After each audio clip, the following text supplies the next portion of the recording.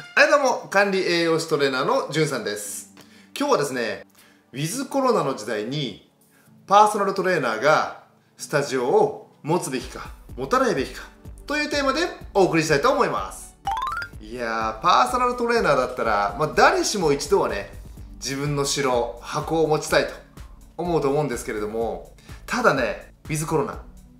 今からの時代に果たしてスタジオを持った方がいいのかな持たない方がいいのかなというのは企業独立を考えているパーソナルトレーナーさんだったらみんな悩んでることだと思うんですね。まそれに対して今日ね僕の意見を言いたいと思います。結論から言うと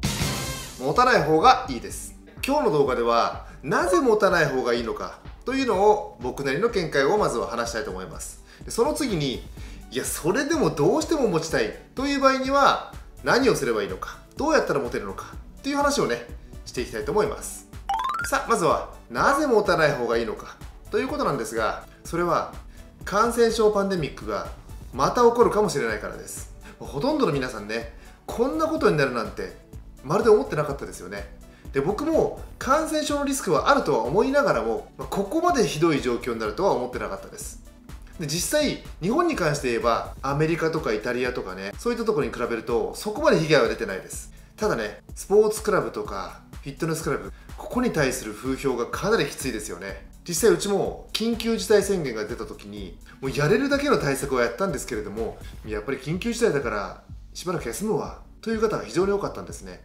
まあ、僕もそれを聞いてうんこれだけ対策してるんで大丈夫ですとも言えず。で僕も休業要請が出されたんで実際休業したんですけれども、まあ、その様子は概要欄に貼っておきますのでよかったらそちらの動画を見てください。ということで、まあ、どんなに僕らが努力しても政府からスポーツクラブは自粛しましょうって言われてしまったらお客さん来れないですよね。何が問題かというとパーソナルトレーニングっていうビジネスモデルは対面サービスなんですね。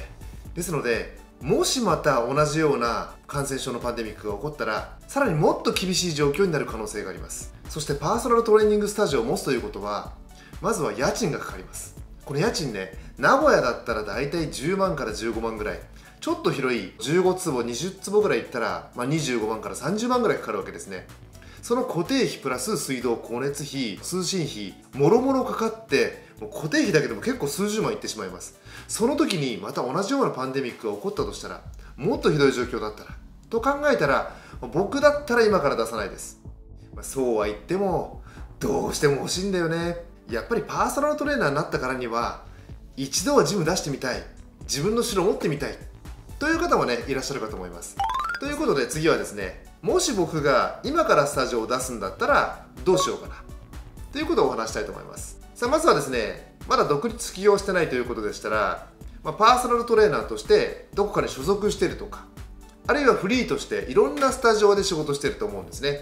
まずはそこを一気に切らずにその仕事を続けながらオンラインのサービスを始めます。今オンラインサービスといったらもう皆さんやられてると思うんですけれどもそれをしっかりとマネタイズして売上利益が上がるような状態まで持っていきます。オンラインのパーソナルトレーニングはもちろんなんですけれどもそこで健康の相談とかですね、まあ、Zoom を使ったセミナーとかあるいは YouTube とかニコニコ動画 TikTok とか、まあ、そういったものを使って最終的にはその動画で広告費をもらうっていうところまでクオリティを上げていきたいんですけれどもそうじゃなくてもまずは出して自分の新しいビジネスであるとかそこで物販とかね宣伝するために動画をどんどん作っていきます。オンラインビジネスをまずすることと動画配信をしっかりして宣伝そして物販販売していくということ。これをやりつつですねさまざまな施設でパーソナルトレーナーとして働きながらこのオンラインのコンテンツを拡充させていくことでもしスタジオを借りて固定費ができたとしても赤字にならないちゃんと生活をしていける結婚もできる子供ができても大丈夫っていうところまで育っていくんですね。まあ、結婚して子供ができるそこまでいかなくてもちゃんと一人でね、まあ、黒字に持ってくるというところまで予測がついたらまずは小さいスタジオを借ります。まあ、ビジネスの鉄則ですよね、まあ、小さく始めて大きく育てるっていうのはとても大事ですのでまずは小さいスタジオ固定費があまりかからないスタジオを借りる。でそうしながらこの他のスタジオをまだ切らないでやりつつ自分のスタジオのお客さんも増やしていくと。そして先ほどのオンラインコンテンツをより強くしていく。ということをやっていくとだんだんスタジオのお客さんが増えていけば他のスタジオの契約を切っていって自分のサービスだけに集中する。ということができると思うんですね。なのでいきなりスタジオを作るんではなくてまずはオンラインサービスをマネタイズする。そしてオンラインサービスを強くしていって自分の物販を販売したりとか新しいサービスを宣伝していく。当然新しいスタジオの集客も強くしていく。ということができればマーケティングの知識も集客の知識も上がってますので自分のスタジオのお客さんも増えていく。そういう感じで一つのキャッシュポイントだけではなくて、まあ、いろんなところでねキャッシュを生むそういったビジネスモデルを作る必要があると思います。ただこれだけではちょっと弱いんですね。なぜかというとパーソナルトレーニングっていうのは今だいぶ飽和になってます。もうたくさんのスタジオができて皆さん独立していくので僕もね結構必死に頑張ってるんですね。この群雄割拠している中でさらに独立してスタジオを持つということになったら普通のスタジオだったらお客さん来ないんですね。そこで必要なのはクロスシンキングという考え方です、まあ、クロスさせるのである物事と物事を掛け合わせるということなんですね。で今からねパーソナルトレーニングスタジオを作るんだったら自分で全く新しいものを作るというよりは自分の持ってるスキルと今既存のものを掛け合わせる。そうするとイノベーションが起こせると思います。例えばですね iPhone ってありますよね。まあスマホでは一番シェアを占めてると思うんですが iPhone 何がすごいかっていうともともとあった電話とインターネットを掛け合わせたんですね。この携帯電話でインターネットができるんだということでイノベーションを起こしたんですけれどもそういった考え方が必要なんです。例えばボディメイクスタジオだったら、まあ、健康特に食事に興味がある方が多いですよね。ということは普通のプロテインではなくてその方の健康に合わせたプロテインを提供するようなジムを作ったりします。薬膳プロテインみたいな感じですね。トレーニングで体も健康になってさらに終わった後の薬膳プロテインでもっと健康で美しくなりましょう。みたいなことを考えたりします。あるいは自分でスタジオをあえて持たずに今ある既存のエステサロンありますね。あそこに営業しに行って少し小さなスペース2畳ぐらいのスペースを借ります。